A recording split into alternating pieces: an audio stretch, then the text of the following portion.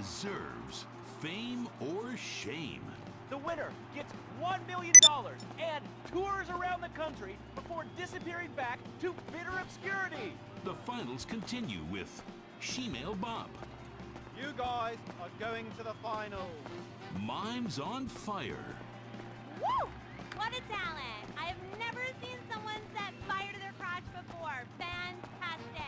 The most racist guy in America, You all disgust me.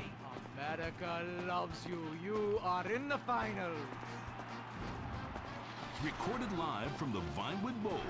Who will win it all?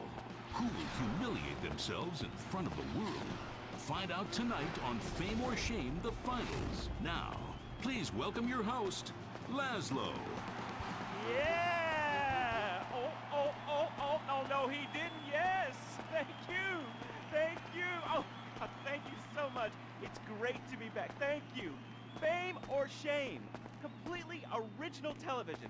Something you've never seen before. We've got desperados performing. We've got has-beens judging them. We've got an anodyne metrosexual holding everything together.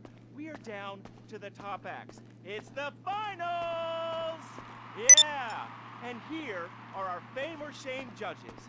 Let's introduce, you love him, I love him, ladies and gentlemen, Hugh Harrison!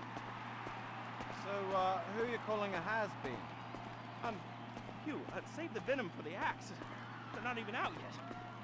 You're the stylist. What's he dressed you as? What, what do they call this look? Is that uh, morgue chic? Gay romp. That is? Two gays, one cut.